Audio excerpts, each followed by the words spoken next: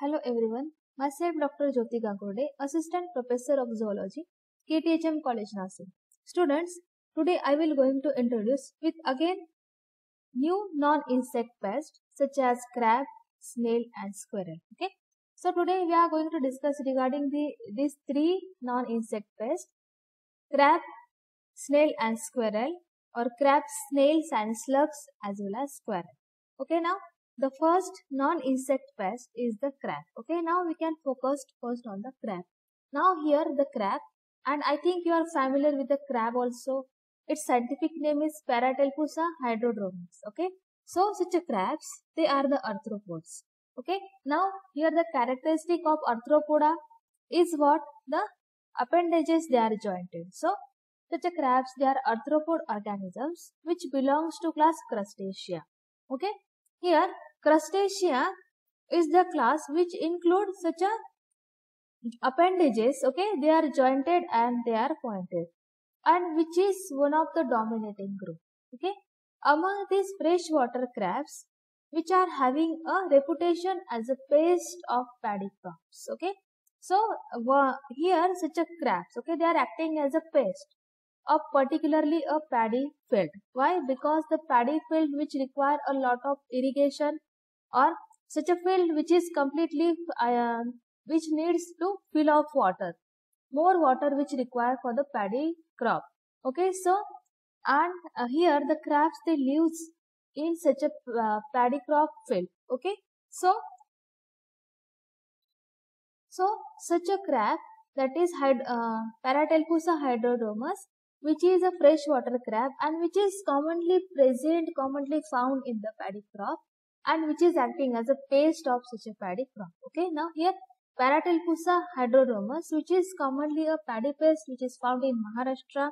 Now they are common, uh, commonly known as a rice field crab or a freshwater crabs and they are active during the night means they are nocturnal in their habit and in rice field uh, they are uh, active during the night time and causing severe damage okay to the paddy. Now, such a crabs, they live in holes made in sides of field bunds. Again, they live in the irrigation channels and field corners where water does not stand. Okay, means the paddy field which is filled with the water, but apart from this, where the water is not there, at that region, again either holes and again uh, what we say is that the irrigation channels where in those region, that region, such a crab they hide themselves. Okay. Now, the holes are protected by heaping soil around their openings. Now, this is what the general introduction regarding the crab.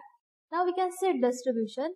Now, such a crabs, they occur throughout India, especially in Konkan region. Why? We are familiar with the Konkan, which is a completely uh, under the heavy rain, uh, heavy rainfall and here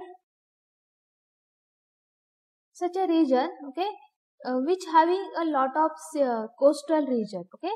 So at the coastal region where already the heavy rainfall is there at that region like in Konkan then Ratnagiri Thane Kolaba okay these are some places of Maharashtra where such a crab such a freshwater crab which is commonly found. Now here you can see the identification marks of such a pest. Okay. Now here the crabs they have flat and oval body. Okay. You can focus on this diagram which is uh, the body which is flat and oval shape. The cephalothorax is largest. Okay. Cephalo, cephalothorax. Here the head and thorax which get fused to form cephalothorax.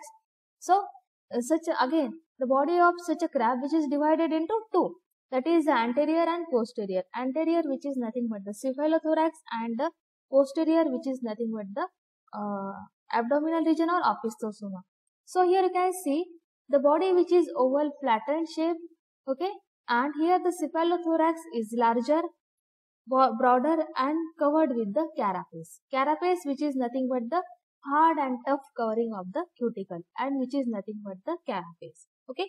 The sockets of the carapace bears, antennules and eye stalks. Okay. So here you can see such a uh, head uh, head region. Okay. which is provided with you can see here the sockets of carapace okay the sockets of carapace bears antennules and eye stalk here stalked eyes are there okay means whenever there is need okay the eyes they can uh, move from the stalk and if not then they again fixed into the into the stalk so the stalk eyes are there so here well developed five pairs of thoracic legs they are also present here you can see one two three four and five so five pair thoracic legs are present and first pair of leg which is ciliate. Okay. The first pair of leg which is ciliate used for offense and defense purpose. Okay. Here you can see these are the structures. Okay. Like the uh, what we say is that the cutting or useful for cutting, crushing and holding to the holding to the press or holding to again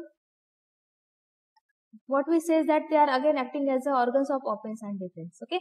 Now the abdomen is segmented and is bent under the cephalothorax. Okay. The abdomen is bent under. Okay. Here you can see the abdomen is bent under the cephalothorax fitting into the groove into the thoracic sternum. Okay. So the abdomen which remains visible from the dorsal surface. Okay. Now this is what about the general identification about the uh, such a paste that is crab. Okay, now if we can discuss here regarding its its life cycle. Okay, such a crab which reproduce mainly during dry periods, the period which is between the April to June, where a single female which lays about 200 eggs which are carried by mother in a pouch like abdominal flap on her ventral side. Here the eggs are again uh, such eggs they are bright orange color initially and turn dark brown or again turn that is from yellow brown to dark brown before hatching. Means the newly uh, eggs those laid by a female they are bright orange in color and as the days passes as the incubation period completed, so they shows yellow brown to dark brown coloration. Now, such eggs, they hatch into tiny larvae and such a larvae they have particular name that is zoe. Okay, such a zoes, okay, they measures about 0.25 mm wide. Now, this stage of the development is completed in 31 to 49 days. Here the next stage is the juvenile stage and the juvenile first crab. Okay, which is uh, measure about 2.5 mm wide. Now here the juveniles, such a juveniles they gradually migrate into shallow, less saline water in estuaries and reverse where they grow and again matures. Okay, means at initial stage. Okay, now, uh, before that, the sexual maturity is attained at the age of 1 to 1.5 years after 18 to 20 larval months. Okay. So, here the larval or the juveniles, they again show molts. How many times? That is 18 to 20 times because the larval stages, they ranges between 18 to 20 to become a adult crab. Okay. So, here males continue to molt and grow after attaining sexual maturity. But in case of females, female ceases to molt and grow when they mature and mate. Okay. So here what it is actually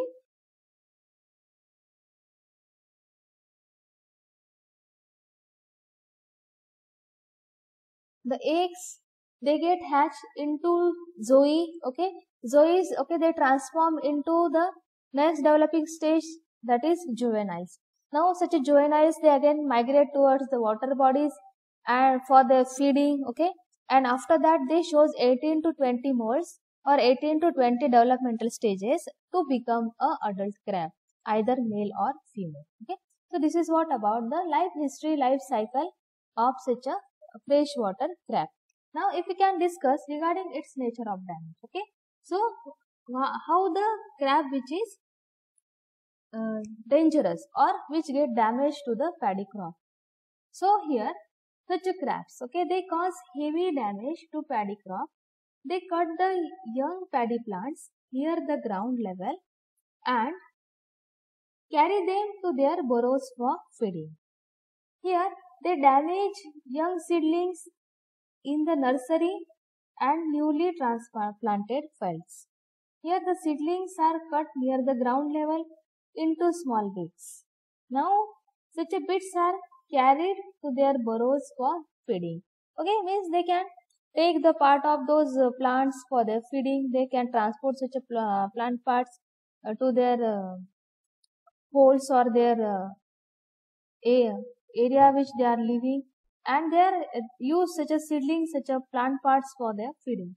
Okay, now in order to plant here outer sheets are cut open and the tender inner portion is consumed. Okay, now in an attacked field bits of leaves and stem can be seen floating on water. Okay, so here such a crabs. They appears, uh, sorry, they prepares the burrow on the sides of ponds in the paddy field that disturbs the irrigation bed which is prepared by farmers. Here, these crab holes lead to water loss from paddy fields and therefore water is not retained in the field. So, they can damage to the means uh, also to the paddy field as well as to the paddy crop also. Okay, so this is what about its nature of damage. Now the control measure they include here the control measure. So collection and destruction of crab using the Petromax or what we say is that such a lights, kandil, okay, at night in the beginning of rainy season which is suggested to control the further loss okay means by uh, we are providing the light at the night time to attract them uh, such a crabs and then we have to collect. Okay? Now pollution of crab can be controlled by baiting. We have to bait those crabs by using different bait. Here the bait which can be prepared using 5% ddt plus 1 dieldrin or either 0.08% endrin with rich syrup of 0.5% endrin or parathion at the rate of again 80 to 100 ml. Okay, 80 to 100 ml. Now here we have to provide different kind of beds to collect them. Now such a crabs burrow can be fumigated with cyano, uh, cyano gas to control the pest. Okay, so such a cyano gas which is a effective fumigant to control, okay, to control the uh, what we say is that the population of uh, crab because of fumes, okay, such a crab they get die. Okay, so this is what about the pest that is crab. Now the next pest is the snails and slugs. Okay, now here snails and slug such as snails they are, or the slugs, they are soft-bodied molluscan animals. They belongs to phylum Mollusca. Okay. The terrestrial and amphibious snails, they belongs to class Gastropoda. Okay. And they having the reputation of acting as a agricultural pest. Okay. How they are acting as a agricultural pest? So, such as snails, they are nocturnal, inhabit and active during the night. So, during daytime, they hide in dark, moist sites, uh, sites under decaying leaves. Again, low growing plant or dirt clouds, okay, uh, then and the pots of debris. So they hide themselves during the daytime, but at the night time they come out from their hidden places. Now they are capable of burrowing into the soil by following decayed plant roots and cracks again and the worm tunnels. Okay. So, the dried mucus can be seen as a shiny trail over leaves or either over fruit or either on the soil. I think you can observe those things, right? You can observe the uh, dried mucus of snail. So, the detection of this slime trail uh, trails, uh, which may be the only way to determining their presence as a snail generally feed at night okay why because during the daytime they hide themselves okay and during the night time they come out from their places their hidden places okay and how we can going to identify such a plants they get damaged by means of either such a snails so we can found we can observe the dried mucus okay? Because the snail they secrete lot of mucus right? So while traveling such a snail they secrete uh, such a mucus and such a mucus which get dry okay? After some time which get dry. And we can identify such a dried mucus. And what we conclude that here such a field which is infected by particular kind of snail or by means of snails okay? Now this is what about the general introduction. Now we come to the identification marks of snail the head okay? You can focus from the diagram also. The head is distinct with tentacles. Here you can see the tentacles and eyes okay? Body is asymmetrical due to torsion and divisible into head thorax or sorry head then dorsal uh, dorsal visceral mass then mantle and ventral foot okay? So this is the head this is the visceral mass okay? And here ventrally you can see ventrally foot is there. So the body okay? Such a snail which belongs to phylum mollusca. Mollusca have a characteristic feature that soft bodied animals are there and such a soft bodied animals they enclosed in hard shell for their protection okay? So here you can see the body of such a snail okay? The head which is provided with tentacles and eyes whereas here you can see dorsally the visceral uh, mass is there or we can say the body which is having nothing but in the form of visceral mass and the foot which is located at ventral region. Okay ventrally the foots they are located.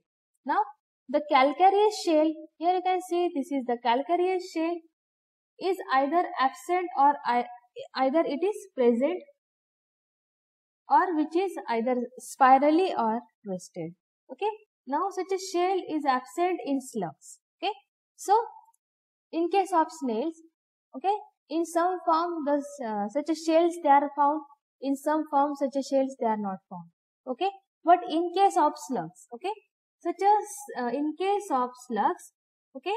Such a shell is absent or either which is greatly reduced. Now shell is spirally twisted and flattened in case of helix. Here you can see a diagram it is of the helix. Okay it is spirally twisted okay? It is of the helix. And conical. Here you can see this is the conical shape okay? Now in case of uh, this is conical in case of achatina fulica or limnia snail okay? Now in case of helix such as uh, shell which is uh, spiral and in case of achatina fulica or limnia snail such a shell which is in the form of cone shaped structure okay? All these snails glide along the path of mucus secreted by themselves. The dried mucus can be seen as a shiny trail over the route they have traveled. Okay, while they are traveling, such a snails they secrete some uh, secrete a mucus or what we can say that they form a path of mucus while they are traveling. Okay, now this is what about the identification mark. Then we can discuss regarding its nature of damage, how they can damage. Okay, they can cause damage and they have economically importance. So here, such a snails, okay, they feed voraciously on the vegetation of crop fields. Hence, okay, they are highly destructive pests causing severe economic loss. Why? Because the teeth they are present, such as snails, they showing the teeth, okay. Or what we say is that the teeth they are in the form of radulas, okay. So due to the presence of such a teeth, the states they are feeding on the different either on the roots or either on the fruit or either on, on the leaves of plant or such a crop. So which can feed on any part of the uh, part of such a crop and that's why which is very destructive pest to the crop. Okay? Now here the terrestrial snails and slugs are also known to be damage uh, to the gardens then orchids mushroom beds and other plants now, the examples of snail which acting as a pest include Pila globosa, okay, which commonly infesting to the paddy fields. Then helix species, limnia species, okay, helix and limnia species. They uh, infecting to the leaves of leaves and vegetables or also the fruits. Now, the giant African snail, Achatina fulica, which is a serious pest of fruit, vegetables and ornamental plants. Now, beside many snails, okay, they are acting as a biological vectors of various diseases by transmitting pathogens in livestock directly or indirectly. Okay, how it is? Such a snail, okay, they secrete mucus. So, on that mucus, okay, different or they have habitat to travel anywhere, okay. Such a terrestrial snails or slugs, they travel anywhere. So, they collect number of organism, pathogens, okay, along with their mucus, okay. Such, uh, or they get stuck to the mucus and they, while they traveling through their path, they can transmit such a pathogens, okay. Now, so they are acting as a they have a biological significance that they carry the different pathogens. Okay. Now, this is what about the nature of damage. Now, come to its again control measure. Okay. Now, the control measure is the best uh, a hand picking method which is the best method control measures of such a snail which include the first that is hand picking method. Hand picking method which is the best method. So hand picking and destroying snails which from the agricultural field. Now this is the best common practice that whenever we found such a kind of snails, so we have to hand pick them or we have to collect them and we have to destroy them. Now after that then plowing the field and sun drying to destroy the eggs of snails and slugs. Okay. Now this is again the best uh, control measure that plowing the field and let us uh, ex uh, expose such a soil to uh, sun dry so which may kill the eggs of such as snails as well as slugs. Now the again the third one that is place the trap near the vulnerable plant like jar again partially filled with kerosene. Now such a jar which is uh, partially filled with the kerosene or again beer and such a jar sunk into the soil. Okay? So means uh, by the sm uh, smell of such a mixture they can attract to the snails and so they ultimately such a jar which is sunk into the soil so uh, that time they get killed now a barrier of vegetation favored by snails can be placed around such a vulnerable vegetation as a trap to lure snails or to collect the snails. Now, biologically here, such a pest can be controlled by their natural enemies such as again here the hedgehogs, ducks or chickens along with that frogs, toads, okay. These are the helpful predators which can biologically control the population of such as snails or slugs. Now, here the molluscicide such as metaldehyde which is effective to control the snail population. Now, the barriers made up of crushed rock applied with repellent like gels again uh, here such as slugs they or sorry repellent like gel or again slug blockers gel which is helpful for control the population of such a pest or such a population of snails as well as slugs. Okay. Now this is what about the control measure. Now here we can introduce with another enemy, another non-agricultural pest that is squirrel. And I think you all are familiar with the squirrel and I think you are all uh, observe and see these squirrels in our college campus also. Now such a squirrels, okay. Its scientific uh, scientific name is Funambulus palmarum is the scientific name of such a squirrel. Now here the squirrel Funambulus palmarum which is a semi-arboreal mammal often found nesting in the tree tops of exotic trees. Now they are herbivores, feed on the flowers and again small fruits, cereals, pulses. Now the squirrels are sometimes considered as a pest because uh, their tendency to chew uh, on the various edible and inedible objects and their persistence in trying to get what they want. Now, their characteristic uh, going trait which is also a aid in maintaining sharp teeth because their teeth grow continuously. Now, on occasion, squirrels will chew through plastic and even metal to get food. Okay, now which can feed on any kind of uh, material. Okay, now we can discuss regarding its distribution. Now here, this species they occurs in tropical and subtropical dry deciduous forest. Along with that, they are also found in mangrove forest and grassland ecosystem. Now, very commonly, such a squirrel which is found in India as well as in Sri Lanka.